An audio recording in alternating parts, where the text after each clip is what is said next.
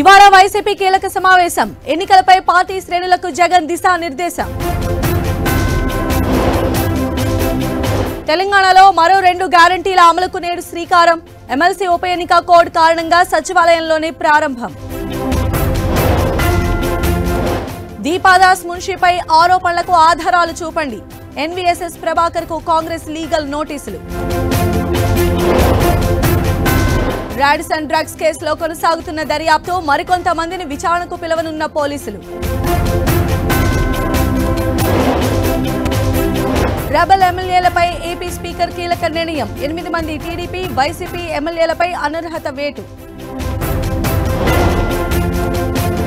నేడు ఏపీలో మూడు చోట్ల బీజేపీ సభలు హాజరు కానున్న కేంద్ర మంత్రి రాజ్నాథ్.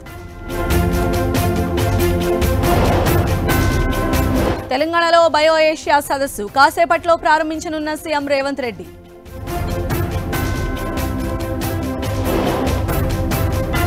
మహబూబ్ నగర్ స్థానిక సంస్థల ఎమ్మెల్సీ ఉప ఎన్నికకు షెడ్యూల్ మార్చి నాలుగున నోటిఫికేషన్ ఇరవై ఎనిమిదిన పోలింగ్.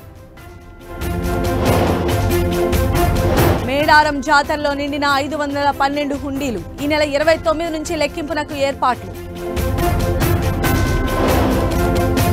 కొనసాగుతున్న రాజ్యసభ ఎన్నికల పోలింగ్. మూడు రాష్ట్రాల్లో పదిహేను స్థానాలకు పోలింగ్.